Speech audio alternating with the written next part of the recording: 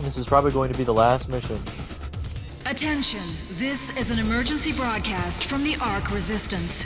Numerous reports from survivor cells across the globe are confirming that at some time within the last 24 hours, the demonic invaders have begun amassing in swarms near Gore nests. ARC scientists have theorized that this behavior is indicative of the arrival of a super predator, a world eater. ARC personnel advise all survivors remain in the safe zones. Alrighty, let's do it.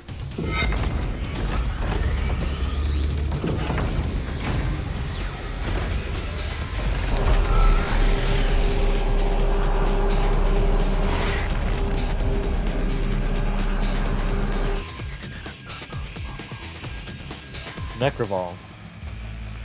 With the Crucible Blade forged anew, you begin your journey to the Khan Maker's heavenly realm of Urdak to stop her from getting full control of this slumbering icon of sin. To reach the Maker world, you must pass through Nekravol, City of the Damned. At the core of the Nekravol Tower is the accused Citadel, wherein human souls are sorted, tortured, and converted into Argent energy. All the towers peak. Argent is transmitted directly to Urdak, providing you with the only known point of entry to the Maker City. Argent energy is made from the souls of Hell's victims. This is the factory where that takes place. Nekravol, the city of the damned.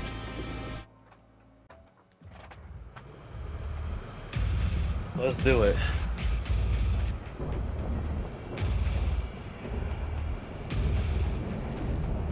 Thing is chained up dead.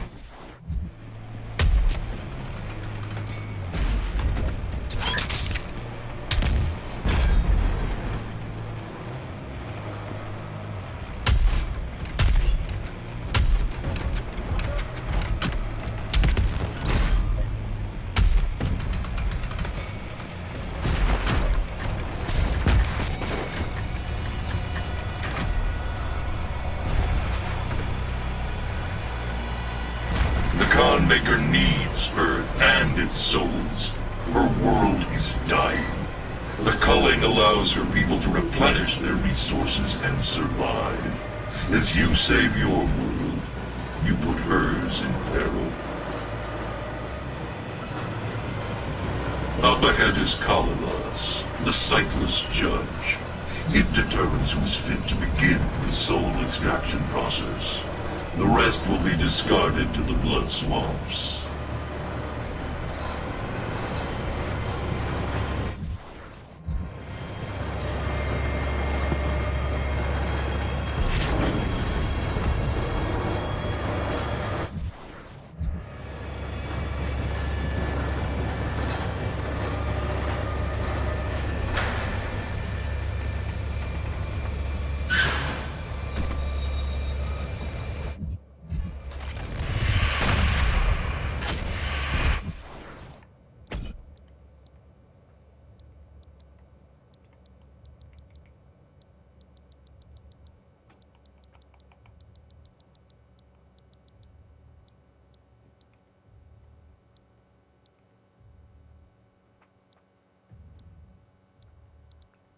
What's a Calabas?